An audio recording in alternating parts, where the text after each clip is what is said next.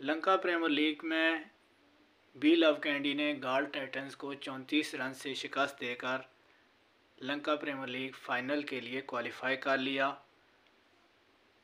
इस मैच की ख़ास बात वनिंदु हसरंगा की ऑलराउंड कारकर्दगी और उनका इस सीज़न में बैटिंग में अगर आप देखें तो सबसे ज़्यादा स्कोर बनाने वाले वो प्लेयर हैं।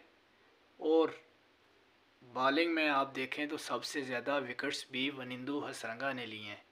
बैटिंग में आज उन्होंने अपनी टीम के लिए बहुत ही शानदार 48 रन्स की इनिंग्स खेली, जिसके बदौलत उनकी टीम 157 रन्स पर पहुँची और गाल टाइटन्स को जीतने के लिए 158 रन्स का टारगेट दिया। जिसके जवाब में आज गाल टाइटन्स का आगाज़ तो बहुत शानदार रहा, चार ओवर में सैंतीस रन स्कोर कर लिए थे।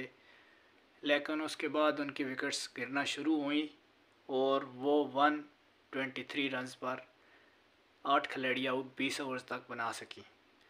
आज के मैच की ख़ास बात यह है कि बाबर आज़म के जो हाईएस्ट रन स्कोर थे श्रीलंका प्रीमियर लीग में, उनको आज बीट किया है। बी लव कैंडी के कप्तान वनिंदू हसरंगा ने जिन्होंने इस टूर्नामेंट में सबसे तेज़ तरीन फिफ्टी भी बनाई थी और सिर्फ़ बैटिंग में नहीं वनिंदु सरंगा चले। इस दफ़ा उन्होंने अपनी जो बॉलिंग है, उसकी बदौलत भी अपनी टीम को बहुत शानदार मैच जिताए हैं।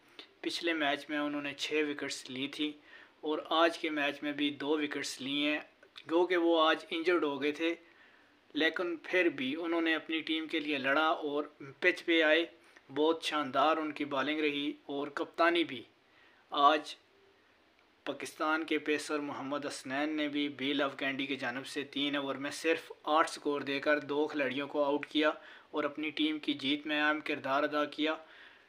बी लव कैंडी फाइनल में पहुँच गई है और जो दस उन शनका की टीम है, गाल टाइटन्स वो फाइनल की दौड़ से बाहर हो गई हैं। आज वनिंदु सरंगा ने टॉस जीतकर पहले बैटिंग का फ़ैसला किया और मोहम्मद हारिस के जल्दी आउट होने के बाद दिनेश चंदीमल और वनिंदु असरंगा की अच्छी पार्टनरशिप की बदौलत 157 रन पर पहुँचे।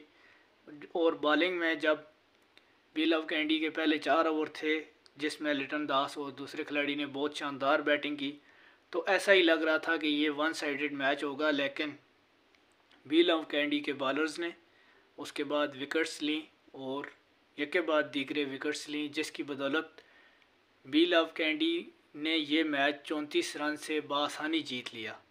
आज मोहम्मद हसनैन की बहुत शानदार बॉलिंग रही। व निंदू हसरंगा ने चार ओवर्स में 21 स्कोर देकर दो खिलाड़ियों को आउट किया और अपनी टीम के लिए 48 रन की बहुत शानदार इनिंग्स खेली। आज फ़खर जमान अपनी नेशनल ड्यूटी की वजह से बी लव कैंडी का हिस्सा नहीं थे। आसिफ अली और मोहम्मद आरिस आज बी लेव कैंडी का हिस्सा थे और उनकी टीम जो है वो फ़ाइनल में पहुँच गई है। और उम्मीद है कि फ़ाइनल भी बहुत अच्छा होगा और दोनों टीमें जीत के लिए और बहुत अच्छे तरीके से इस लंका प्रीमियर लीग का अख्ताम करेंगे।